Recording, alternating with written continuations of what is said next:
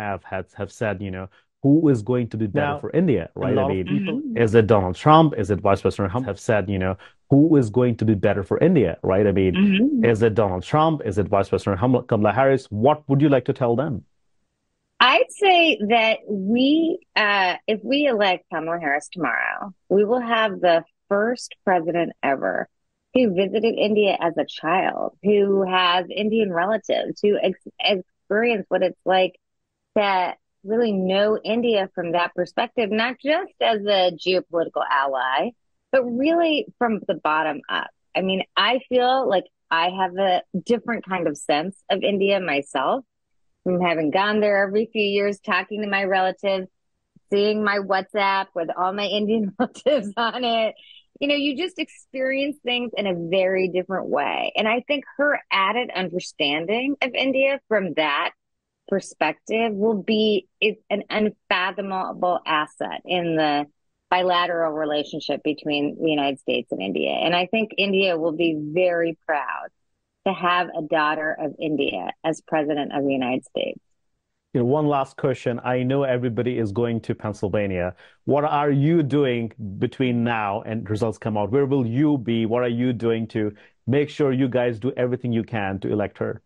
Well, I'm heading out to York, Pennsylvania this afternoon to get out the vote to canvass. I really think this election is crucial. It's every vote counts, and really it's up to all of us. So I, I've been out. I said I was, as I said, I was in Georgia, and I've been north to North Carolina a couple of times, and now I'm heading out to Pennsylvania, and I'll be in Pennsylvania tomorrow as well to get out the vote and to really, you know, there are people who have some last minute questions, answering every question. We are earning every vote in this election. Kamala Harris is is earning every vote, and so we're all out. We're all out hitting the pavement for her to, you know, really um, grasp this moment. And I think again, I would just say, I think the election really does boil down to for the Indian American community and for all communities whether all of our voices will be part of this or whether just some of our voices will be heard. And, you know, we've all lived through periods where there's more bias and anger, and then there's periods where we feel more welcome. And I just think, you know, we stand at a moment where Indian and American voices will not just be heard, but will roar in this election. You know, I, I did say one last question. I do have one more now. Sure. Uh, how's President Biden looking at this, uh, you know, election cycle? I know, you know, he he made the move. He, he stepped out of the race. What are his thoughts? Because you are an advisor to the president.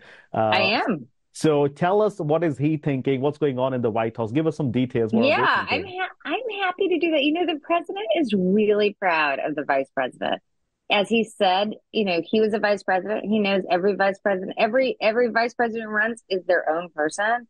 She will have her own policies, but I think he's incredibly proud of her and he wants nothing more than her to succeed. I think he thinks it was a great decision to select her as vice president. And I think he really does. Uh, he's he's uh, first in line as her fan, um, but also recognizes she will have a different president presidency. She has a different, she has additional advisors. She's running her own race, and I think that's really um, the position of respect that he has for her.